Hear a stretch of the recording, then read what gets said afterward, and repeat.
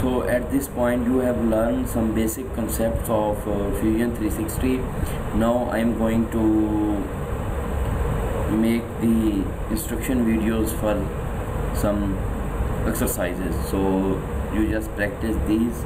So you got some skills for the sketching. So this is the sketch we are going to draw.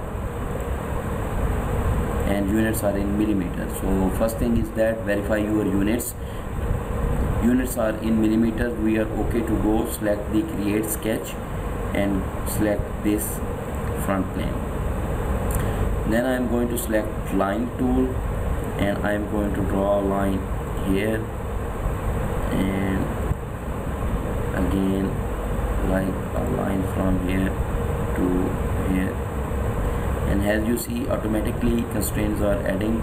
This parallel is adding automatically so it's okay. And then go to arc and select three point arc I'm going to select this point this point and make it like that. Select this point this point and make it like that. We can also add the automatic uh, constraint um, by dragging this uh, uh, arc on a feasible position but I did not selected it because I want to show you how this constraints worked so I am going to select tangent I selected this circle and this and this circle and this.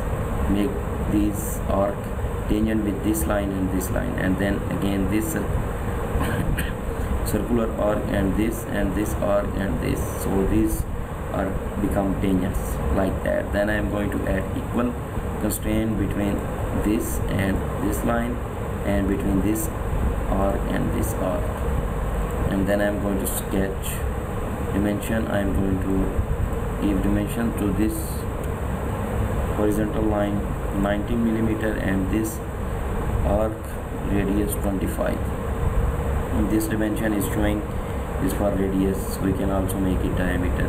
So finish the sketch. And it is showing in the isometric view.